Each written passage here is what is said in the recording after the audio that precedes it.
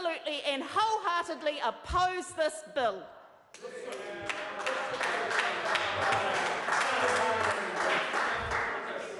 Uh, Mr Speaker, um, I call the Honourable Nikki Kaye. Uh, firstly, can I just say to everybody watching that that was the most extraordinary speech, and I have a prediction.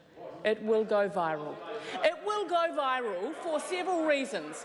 It will go viral because the member opposite didn't read the bill. It will go viral. I'm not allowed to say that the member, uh, the minister wasn't in the House, but what I can say is that it is extraordinary that he has not spoken on this bill. This is a bill about disadvantage. This is a bill about helping some of our most disadvantaged children and schools. And to get a lecture from the opposition about the fact that we don't care when they're voting down a bill about disadvantage is extraordinary. Can I acknowledge Erica? Uh, she's a fantastic new Member of Parliament. She's done extraordinary work on this bill. Can I also acknowledge the Honourable Hekia Parata?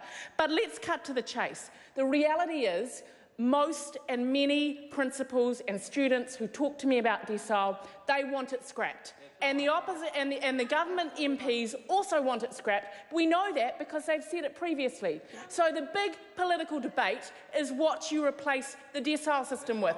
So to have a speech again from that member about the fact that somehow decile might be okay and actually there's a problem with replacing it totally ignores her party's previous position on it. Second point.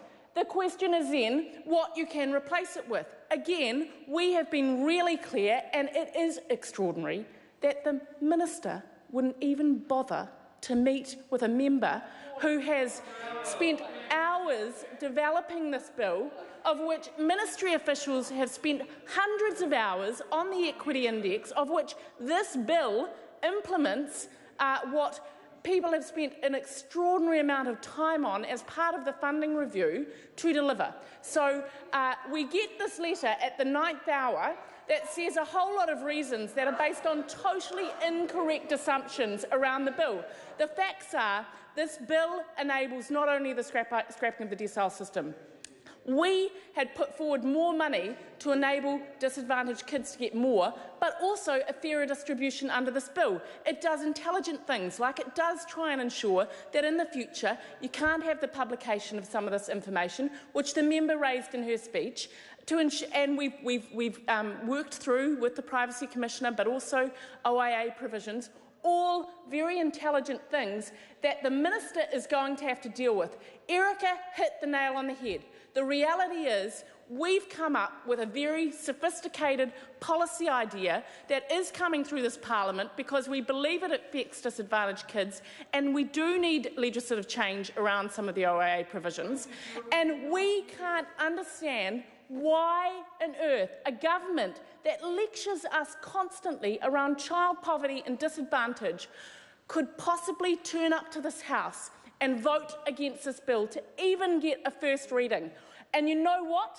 We do know why. When it comes to partnership schools, they're scrapping them. When it comes to the fact that there's been this record increase in Māori and Pacifica achievement, they won't acknowledge it. When it comes to a bill that will help some of the most disadvantaged children in New Zealand, the minister won't even do the courtesy of meeting with a member that has implemented one of the most sophisticated mechanisms for disadvantaged children. And that is one of the saddest things that I have seen in this House. I call Jamie Strange. Mr Speaker, thank you for the opportunity to speak on this bill.